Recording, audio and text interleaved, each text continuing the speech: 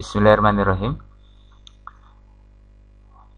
Saya akan berbagi kepada Anda, khususnya para pengelola WordPress, dalam membuat suatu widget yang berbeda antara halaman maupun posting. Secara default, WordPress uh, akan menyamakan antara page dan post. Maka di sini saya akan praktekkan bagaimana agar widget bisa kita munculkan sesuai dengan apa yang kita inginkan di halaman page maupun post. Kita lihat di sini pada halaman awal widgetnya hanya di sebelah kiri. Kemudian apabila kita klik satu kategori manajemen, di sini sudah ada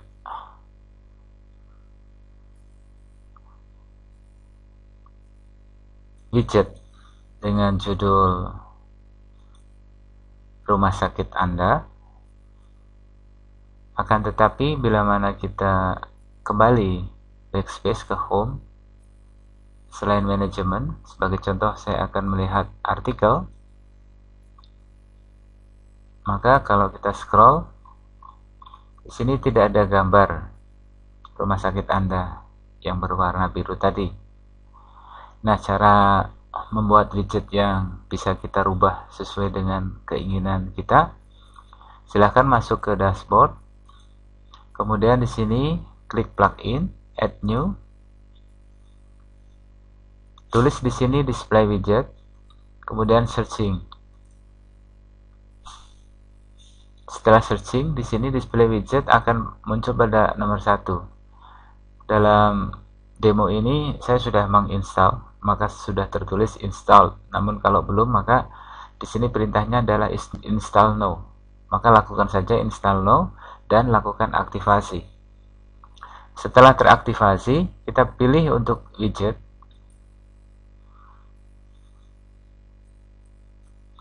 Nah, ini dia, saya sudah membuat sebuah teks dengan judul rumah sakit Anda.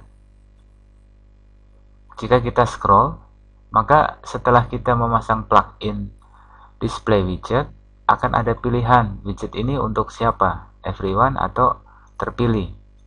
Kemudian show on check page atau hide on check page. Saya pilih show on check page. Saya scroll ke bawah. Di sini saya centrang hanya ada dua kategori hubungan dan manajemen selebihnya enggak kemudian kita save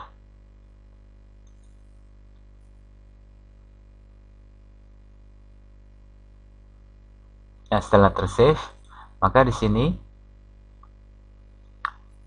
kita bisa lihat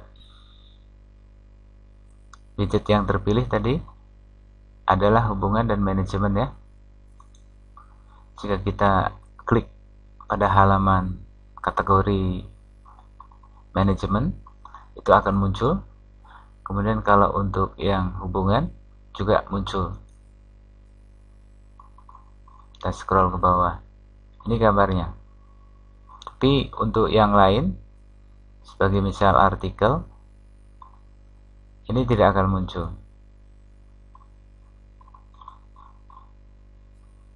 Demikian saudara. Semoga bermanfaat. Terima kasih